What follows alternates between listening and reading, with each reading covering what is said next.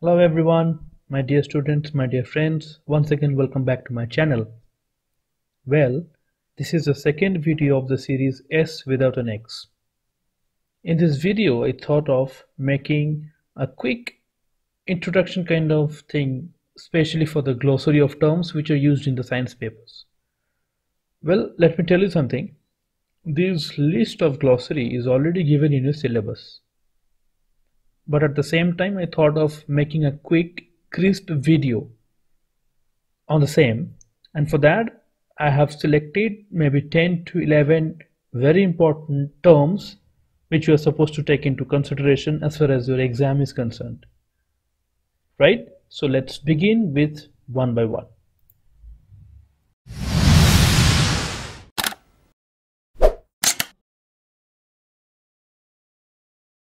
Word number one, calculate.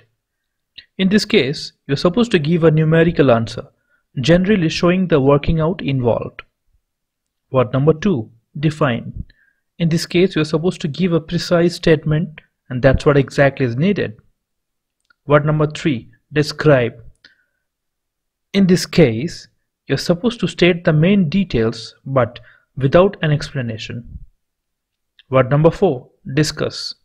Students, here you are going to involve different point of view or say advantages and disadvantages. Point number five, explain. Students, in this case, you must give reasons or you know underlying theory. Point number six, list.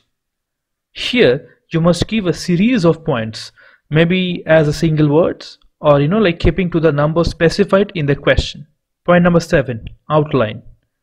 Here, you're supposed to state the main facts very briefly without going into the details. Point number eight, predict.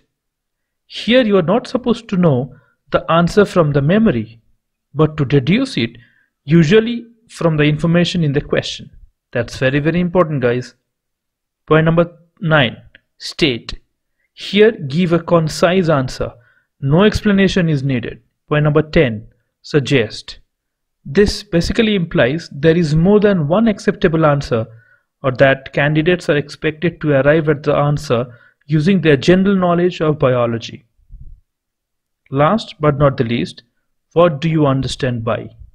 Here give the definition and some additional explanation. Alright my dear students, that's all from my end. I hope you have understood and enjoyed my video. Do not forget to give a thumbs up to my channel subscribe my channel share the video with your near and dear ones. Very soon i'm gonna come up with a third video of the same series. Till then stay tuned. Oh by the way if you have some query for the video i mean any if you have some typical topic on which videos to be made do not hesitate to write down in the comment section below.